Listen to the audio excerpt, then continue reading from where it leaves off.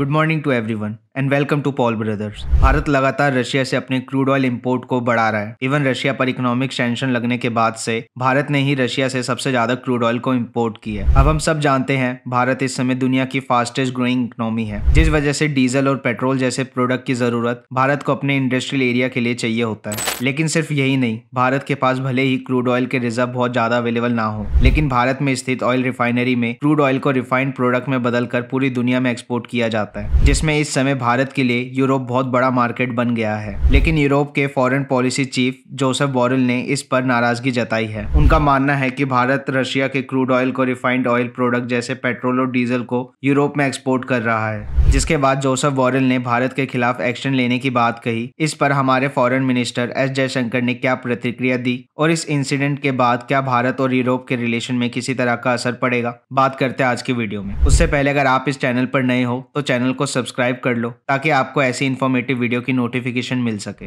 Russia Ukraine war के शुरू होने के बाद से पिछले एक साल में भारत ने रशिया से सबसे ज़्यादा क्रूड ऑयल को खरीदा है। अब इसके पीछे का रीजन बहुत ही सिंपल है। रशिया पर सैंक्शन लगने के बाद से रशिया ने बहुत ही सस्ती कीमत पर भारत को अपना क्रूड ऑयल बेचा है और सस्ता क्रूड ऑयल मिलने की वजह से भारत में मौजूद ऑयल रिफाइनरी को भी बहुत अधिक लाभ हुआ है। साथ ही क्योंकि अब यूरोप रशिया से ऑयल को इम्पोर्ट नहीं कर रहा है, ऐसे में भारत यूरोप के लिए रिफाइंड ऑयल इम्पोर्ट करने के लिए नया ऑप्शन बना है। और डीजल और पेट्रोल जैसे प्रोडक्ट को लगातार यूरोप, भारत से इम्पोर्ट कर रहा है, जिस वजह से इंडियन ऑयल रिफाइनरी को भी प्रॉफिट हुआ है। बेसिकली इस पर यूरोपियन यूनियन के foreign policy chief Josep Borrell ने कहा कि जो भी ऑयल प्रोडक्ट भारत से यूरोप आता है, वो बेसिकली रशियन क्रूड ऑयल से ही रिफाइंड किया हुआ प्रोडक्ट है। और ये पूरे यूरोप के लिए एक चिंता का विषय है। और इसके खिलाफ यूरोप को कदम उठाने चाहिए। उनके अकॉर्डिंग भारत अगर रशिया से क्रूड ऑयल इम्पोर्ट करता है, इससे उन्हें कोई दिक्कत नहीं है। लेकिन अगर भारत रशिया के ऑयल को रिफाइन करने का सेंटर बन रहा है और बने हुए सामान को यूरोप में बेच रहा है तो ये गलत है। ऐसे में भारत रशिया पर लगे हुए सैंक्शन को पूरी तरह से इग्नोर कर रहा है। लेकिन आखिर किन कारणों के चलते भारत इतनी ज़्यादा क्वांटिटी में रशिया से ऑयल परचेज कर रहा है और कैसे यूरोप भारत के लिए इतना बड़ा मार्केट बना? अब बेसिकली रशिया यूक्रेन वॉर से पहले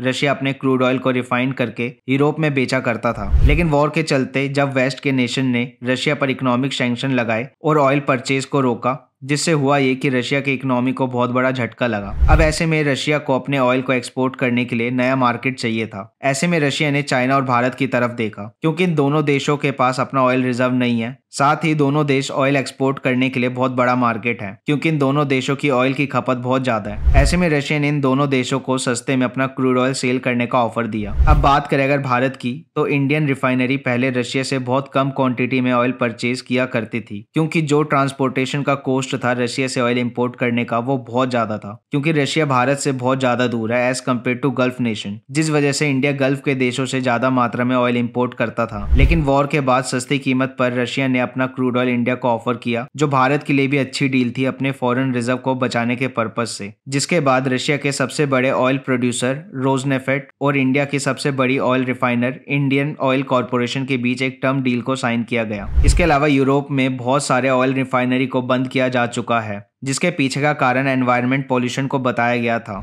ऐसे में यूरोप क्रूड ऑयल इंपोर्ट नहीं कर सकता था और उन्हें क्रूड ऑयल से निकाले हुए रिफाइंड प्रोडक्ट की ज़रूरत थी। अब अगर भारत को देखा जाए तो शुरू से भारत के पास बहुत बड़े ऑयल रिफाइनरी मौजूद थे, जिससे हुआ ये कि जब यूरोप ने रशिया के ऑयल इम्पोर्ट पर बैन लगाया तो उन्हें अपनी ज़रूरत को पूरा करने के लिए किसी और देश से रिफाइंड ऑयल प्रोडक्ट को इम्पोर्ट करना था, जिसके बाद इंडियन ऑयल रिफाइनरी ने यूरोप में एक्सपोर्ट को ज़्यादा बढ़ा दिया। लेकिन जोसफ वैरल का ये बयान कहीं ना कहीं ठीक नहीं है, क्योंकि बात सिंपल है। अगर इंडिया रिफाइंड ऑयल प्रोडक्ट को यूरोप में एक्सपोर्ट कर रहा है, और भले ही वो रशिया का क्रूड ऑयल है, लेकिन कहीं ना कहीं यूरोप की नीड है इस समय भारत से ऑयल इंपोर्ट करना। तभी भारत के ऑयल रिफाइनरी यूरोप में ऑयल एक्सपोर्ट कर रहे हैं। और जोसो वॉरेल के इस बयान के बाद भारत के फॉरेन मिनिस्टर ने भी इस पर अपनी प्रतिक्रिया देते हुए कहा कि यूरोपियन यूनियन के सैंक्शन के रूल के अकॉर्डिंग अगर रशिया के क्रूड ऑयल को किसी और देश में रिफाइंड किया जाता है तो उसे रशिया का प्रोडक्ट नहीं कहा जाएगा। जिसके बाद उन्होंने काउंसिल रेगुलेशन 833 2014 को देखने के लिए कहा, जिसमें यही बात मेंशन है। तो ऐसा नहीं है कि भारत ने किसी तरह से भी यूरोप के बनाए हुए रूल्स को ब्रेक किया है। लेकिन क्या इस इस बयान के बाद यूरोप के देश भारत पर किसी तरह का एक्शन लेंगे या इंडिया से ऑयल इंपोर्ट करने को कम करेंगे? अब इसका जवाब है नहीं, क्योंकि कहीं ना कहीं ये जोसेफ बोरेल का बयान इसलिए कहा गया ताकि वो अपने आप को रशिया के अगेंस्ट दिखा सके, जिससे यूरोप के लोग उनसे इम्प्रेस हो। लेकिन अगर रियलिटी को देखा जाए तो अगर यूरोप इंडिया से ऑयल इम्पोर्ट को बंद करता है तो ऐसे में उन्हें गल्फ के देशों से रिफाइंड ऑयल प्रोडक्ट को इम्पोर्ट करना होगा। अब इससे होगा ये कि इंटरनेशनल मार्केट में डिमांड और सप्लाई का बैलेंस बिगड़ेगा, जिससे ऑयल की कीमतों में तेज़ी से उछाल आएगा। ऑलरेडी यूरोप के देशों को रशिया पर बैन लगाने के बाद अपने रिफाइंड ऑयल प्रोडक्ट को नीड को फुलफिल करना मुश्किल हो रहा है और साथ ही महँगा पड़ रहा है। ऐसे में अगर यूरोप इंडिया पर किसी तरह का एक्शन लेता है तो भारत पर उतना फ़र्क नहीं पड़ेगा, क्योंकि वॉर से पहले भारत यूरोप को लगभग एक लाख चौवन हज़ार बैरल पर डे एक्सपोर्ट करता था, जो वॉर के बाद दो लाख बैरल पर डे हो गया। लेकिन इंडिया से इम्पोर्ट कम या बंद करने से यूरोप की इकोनॉमी पर प्रेशर और बढ़ जाएगा। इसके अलावा यूरोपियन देशों के साथ इस समय भारत के स्ट्रेटेजिक रिलेशनशिप स्टेब्लिश है और भारत पर किसी तरह का, एक्शन न सिर्फ़ इस रिलेशनशिप को इफ़ेक्ट करेगा। साथ ही यूरोप जानता है कि रशिया और भारत आपस में स्ट्रॉन्ग अलायंस शेयर करते हैं। ऐसे में यूरोप के द्वारा किसी भी तरह का, का एक्शन एक नए जियो वॉर की शुरुआत कर देगा और यूरोप ऐसा बिल्कुल नहीं चाहेगा। सो इस बयान से फ्यूचर में किसी भी तरह से इंडिया और यूरोपियन नेशन के बीच जो स्ट्रेटेजिक रिलेशनशिप एस्टेब्लिश है उस पर फ़र्क नहीं पड़ेगा। बाकी आपको क्या लगता है? क्या इस तरह का, का बयान भारत के अगेंस्ट देना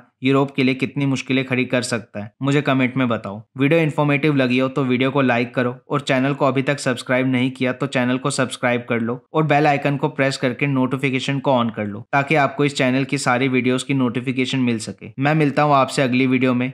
Goodbye for now and have a good day to all of you